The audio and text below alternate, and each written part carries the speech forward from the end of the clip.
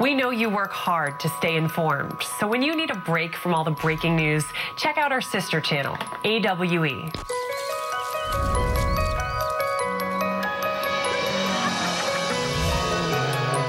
And when you're ready for more headlines, come back to us at One America News. Thank you for joining us tonight. I'm Cassie Leuffen, and we begin with breaking news. OAN and AWE.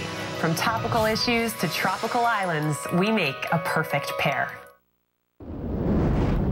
Okay, so maybe you will never be able to fly the Millennium Falcon, but now you don't have to be in a galaxy far, far away to sport Han Solo's style, his jacket. The smuggler's infamous jacket's going up for auction, making a dream come true for Star Wars fans everywhere.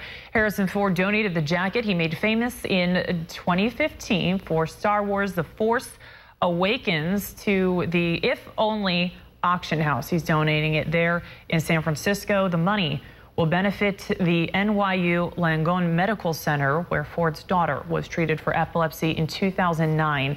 As far as the bidding, the current bid for the autographed leather costume piece is $33,000, and that bid is expected to rise. All for a great cause, and if only I kept my high school Letterman jacket, I might be able to get about 33 bucks for that one. I'm Cassie Leuffen, and thank you so much for watching. We appreciate our viewers more than you know. Tara Millspa has more headlines coming up for you right after this. Keep it here on One American News. It's time for a new way of looking at news. It's time for a network that cares about a strong America. It's time for an honest assessment of our nation's leadership our foreign policy, our fiscal responsibility, and our national security. It's time to switch things up. If you're looking for credible news, then you've come to the right place. One America's ready. Are you? Straight ahead on One America News, new details in the case of a convicted murderer featured in a popular podcast, the newest testimony and the revelations from it up next.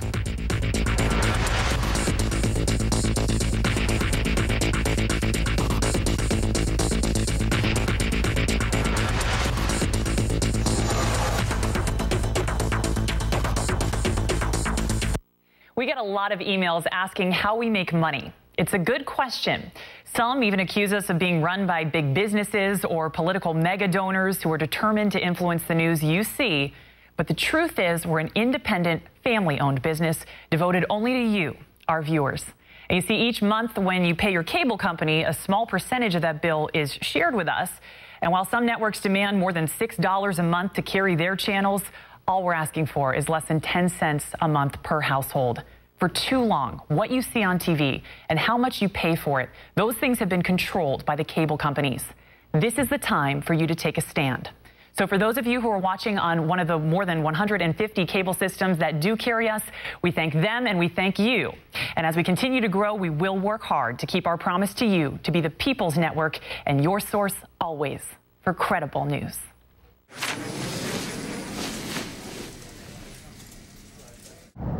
Final story, and it's a good one. A giant Siberian unicorn may have lived at the same time as early humans. But unicorns aren't real. Hey, I don't make the news, I just get it to you. This is according to paleontologists who recently found the fossilized skull of what they're calling the Siberian unicorn in Kazakhstan. Okay, so a little false advertising. As you can see, it's more of a hairy wildebeest, but the creature gets its name from the long sword-like horn on its head.